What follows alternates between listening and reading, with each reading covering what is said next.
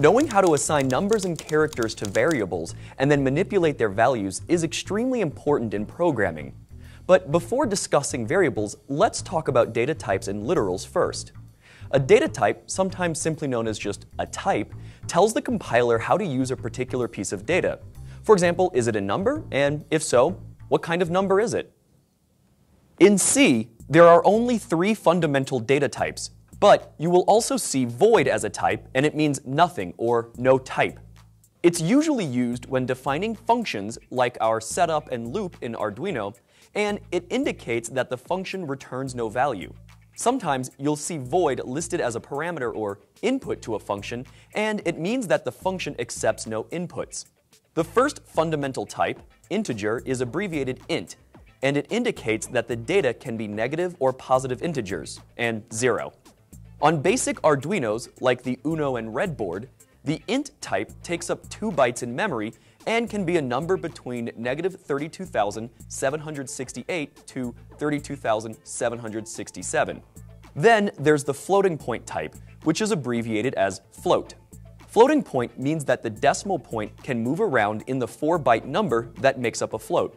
You can represent a float as a decimal number, like 2.718, or in scientific notation, like 6.022E23, where the number after the e is the exponent. So this would be 6.022 times 10 raised to the 23rd power. Floating point numbers can be between about 3.4 times 10 to the 38 and negative 3.4 times 10 to the 38. Finally, we have the character type, which is a one-byte integer that corresponds to an English letter, number, or symbol.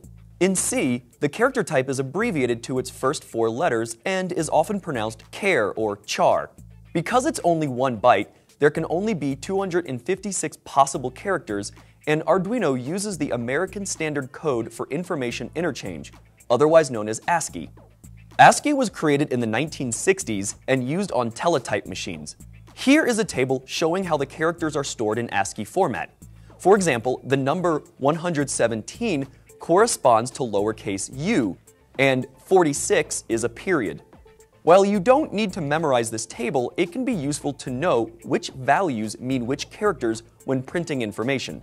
While there are only three fundamental types in C, keywords can be used to change how the types work. Here is a table showing some of these types and what they mean in Arduino.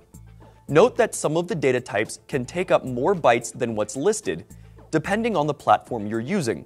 For example, int only takes up 2 bytes on the Arduino Uno and RedBoard, but takes up 4 bytes on 32-bit systems like the Due and SAMD-based boards. For now, we'll assume that we're using an Arduino, Uno, or RedBoard. To see how we can modify the data types, let's take a look at an example.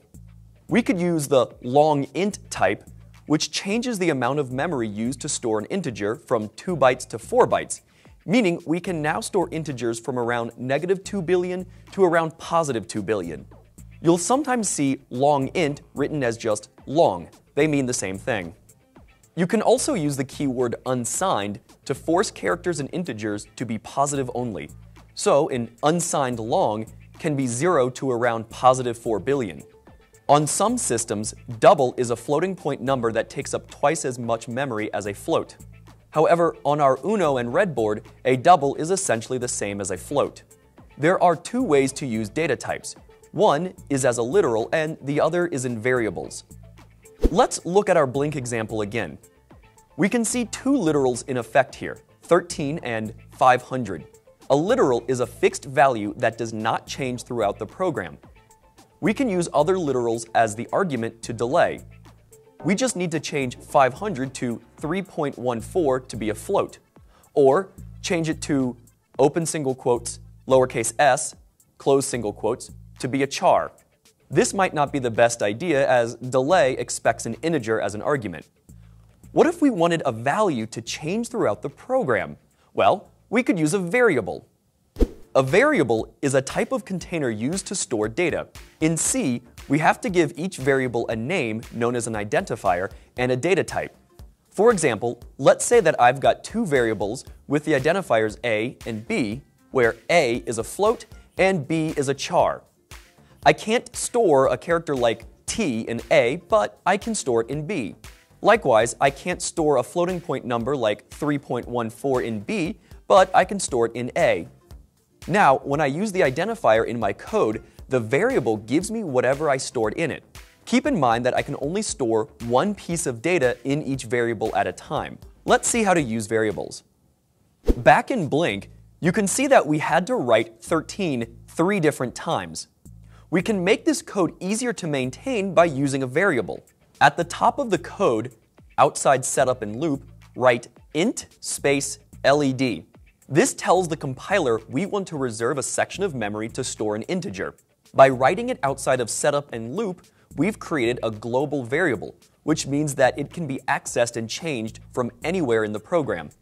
We then want to assign a value to our variable, so write equals 13 semicolon. We can now replace all other instances of the number 13 in our program with LED. This new program will run the same as before, and it has the added benefit of letting us change one number instead of three to switch which pin we want to use. You can also change values in variables later in the program. For example, at the end of our code and loop, add LED equals 5 semicolon.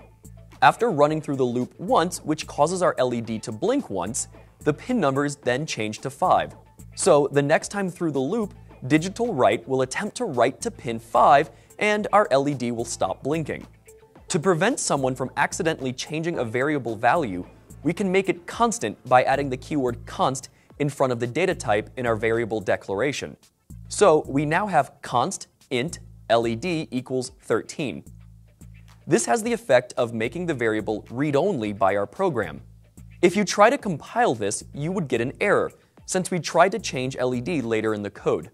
This can also potentially save some memory, as many compilers will replace const-labeled variables with a value from program space rather than using precious memory, which we only have 2 kilobytes of on the Arduino Uno and RedBoard. Let's also see how to print variables to the console.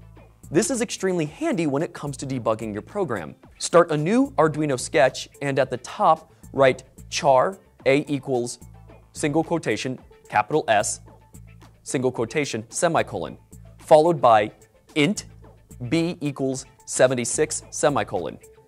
In setup, write serial.begin open parentheses 9600 close parentheses, semicolon. This will initialize a serial port connection to our computer. Then, in loop, write serial.print, open parentheses, a, close parentheses, semicolon, and serial.println, open parentheses, b, close parentheses, semicolon, followed by delay 1000. Serial print A prints the value of A in our serial monitor, and serial print ln B prints B followed by a new line. ln in print ln stands for line and is similar to pressing enter or return on your keyboard after something has been printed. Upload your program and then press the serial monitor button to open a terminal. You should see S76 being printed every second, each on a new line. This should give you an idea of how to use data types, literals, and variables in Arduino. There are other data types we can use, and we'll cover those as we see them.